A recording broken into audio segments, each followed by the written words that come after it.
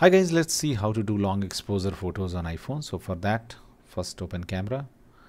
Now tap on this, you know, this icon, up arrow icon. When you will tap on this, these new options will appear. Now tap on this live photos options. Make sure it is turned on. Now take a picture. Now once you have taken a picture, open it. Now here there is one option is live. Tap on it and few options will appear. Tap on long exposure and it will change the photo to long exposure. Thanks for watching guys. Please do like the video